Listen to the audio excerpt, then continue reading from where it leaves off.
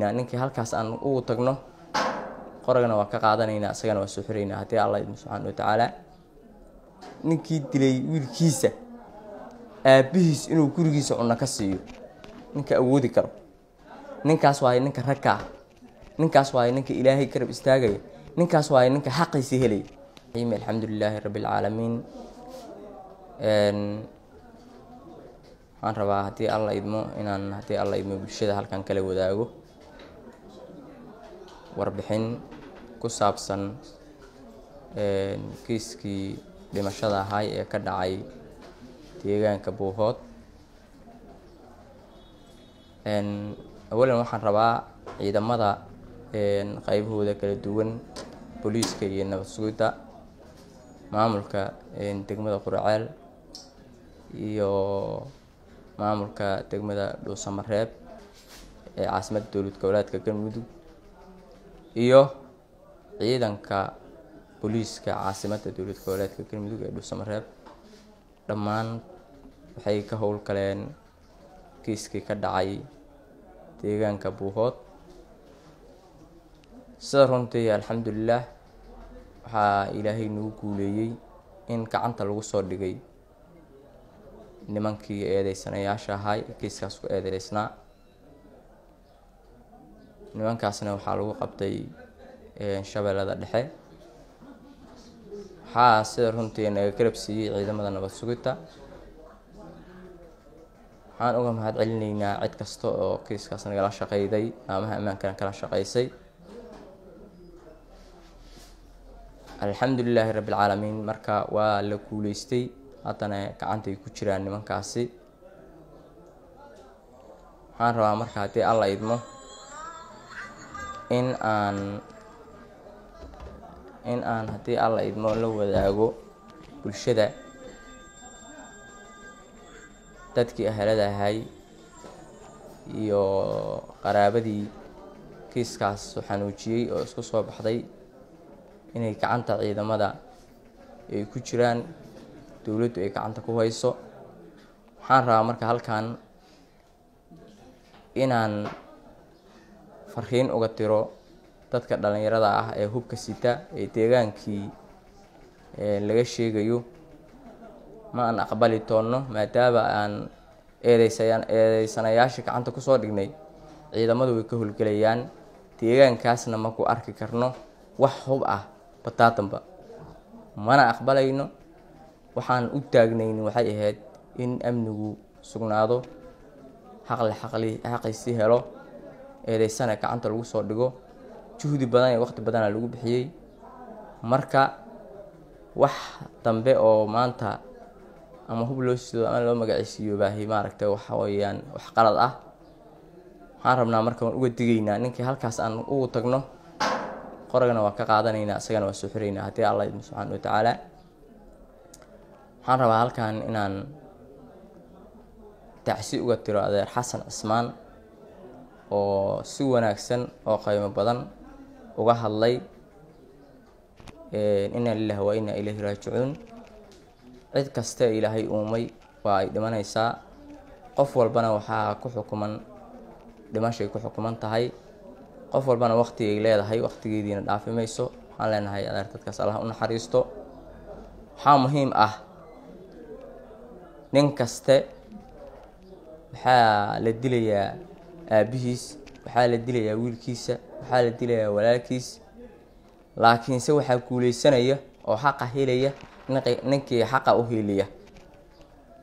Ninkii yidhaahdo aniga wiilkaygii waxaa dilay nin waxaana u hoos joogaa dowladda. Cid kaloo islaama wax iga beenno uma socdo. Sida runtiiya nin kaste haddii la helo nin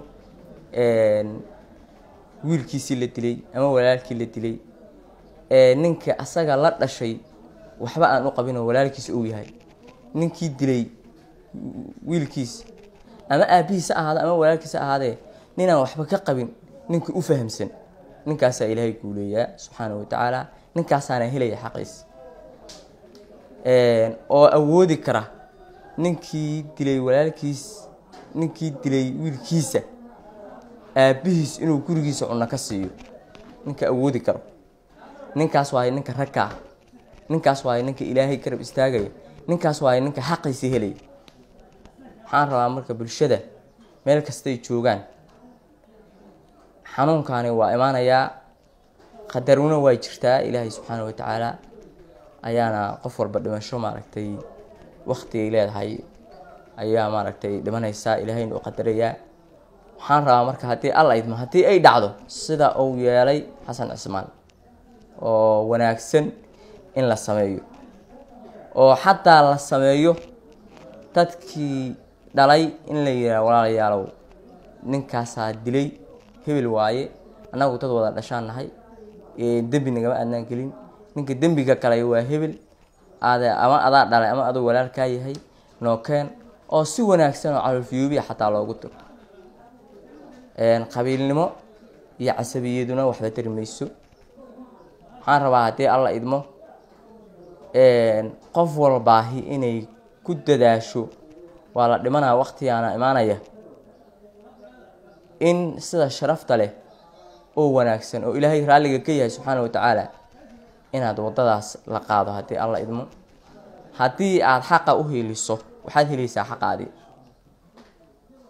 xaqa aad u heliso waxaa waaye ninka xaqdarrada kaa galay oo ku dilay asaga keliya inuu maaragtay aada tiraa shareecada islaamka la iisoo waafajiy inta kale walaalkii aabihii la gashay walaalkiis ha ahaado aabihii ha ahaado inta kale inay walaalaha yihiin waxba inaysan kaa dhimin aada aaminto waa qodob ninkaasi wuxuu helayaa xaqiisii ninka xaqdarrada u heliyane wuxuu helayaa xaqdarradii u helayaa. Wuxuu helayaa hadduu xaqdarro galo in xaqdarradii asaga laga gudo ninaan xaqi qabin hadduu dhibaateeyin asaga asaga ruuxiisa dhibaatadii qabsato. Laakiinse wallaahi bilaahi dallaahi ninka xaqa u heliya oo aaminsanaada nin inuu dilay walaalkiisna uusan wax u dhibin aamina oo xaqa u heliya oo yidhaahda nin walaalkeygan wax iga dhimin xaqi dhiiggiisu waa iga dhiig muslim kii wax iga geysta sharciga la isoo waafajiya yidhaahda wallaahi billahi talaa kaasaa xaqiisa helaya ummadda islaamka ah oo dhanna intaasaan rabaa inaan la wadaago. Ummadda soomaaliyeed intaasaan rabaa inaan la wadaago. Khaasatan ummadda qurceel ku nool iyo deegaamada hoos yimaadana waxaan rabaa intaas inaan la wadaago haddii alla idmo. Insha allahu annaguna waxaan u taaganahaa waqti kaste. Ilaahayna uun uu ka rabsiinaa ninka xaqa u heliyo inaan xaqiisii aan gacanta ku soo dhigno ilaahayaanan uu ka rabsiina ilahayna waa ballan qaaday subxaana wa tacaala meel kastoo kalena ma fakanayo. Xaqale ninka ninka xaqa ku socda ninka xaqdarada ku socda waxaa guuleysanaya ninka xaqa ku socdaa guuleysanaya ilaahay agtiisana ninkaasaa ka guuleysanaya marka waa mahadsantihiin intaas ayaan rabaa inaan ku soo kaabiyo haddii alla idmo.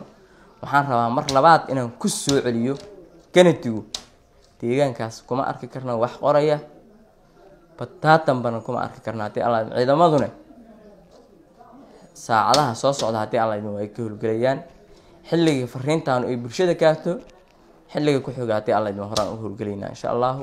Waa mahadsantihiin saxaabadan u mahad celinaa assalaamu calaykum waraxmatullahi wabarakatu bishaaro bishaaro bishaaro shirkadda isgaarsiinta somtel oo soo kordhisay adeega kaafiya balas kaasoo aad ka heli kartid nus dolar ilaa iyo konton dolar haddaba macamiil ku shuba nus dolar oo hel hal dhibic shan g b oo ay la socoto toddobaatan daqiiqo iyo konton fariin qoraaleed ku shuba hal dolar oo hel saddex g b oo ay la socoto boqol iyo afartan daqiiqo iyo konton fariin qoraaleed sidoo kale macamiil ku shuba laba dolar oo hel lix g b oo ay la socoto laba boqol iyo siddeetan daqiiqo iyo boqol fariin qoraaleed ku shuba shan dolar oo hel saddex iyo toban g b iyo bar oo ay la socoto lix boqol oo daqiiqo iyo laba boqol oo fariin qoraaleeda sidoo kale macaamiil ku shubo toban dolar oo hel soddon g b oo ay la socoto kun iyo laba boqol oo daqiiqo iyo saddex boqol fariin qoraaleed ku shubo labaatan dolar oo hel toddobaatan g b oo ay la socoto laba kun iyo afar boqol oo daqiiqo iyo saddex boqol s m s. Sidoo kale macaamiil ku shubo konton dolar oo hel boqol iyo konton g b oo ay la socoto lix kun oo daqiiqo iyo saddex boqol s m s.